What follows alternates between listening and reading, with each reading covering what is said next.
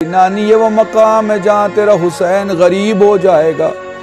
सवाल किया है उम्म सलमा ने मेरे लाल, ये बताओ कैसे गरीब हो जाओगे? नानी, ये वो मकाम है जहाँ मेरा कासिम टुकड़ों में बढ़ जाएगा।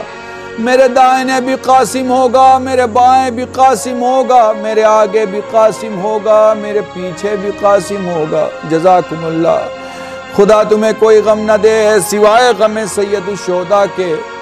चलो करबला चलते हैं। वो लो एक माँ का बेटा है, जिसका नाम है कासिम हसन का यतीम।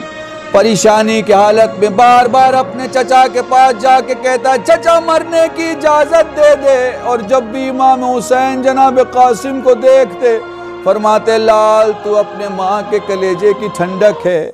तू अपने माँ की आँखों का नूर है। अपनी माँ के पास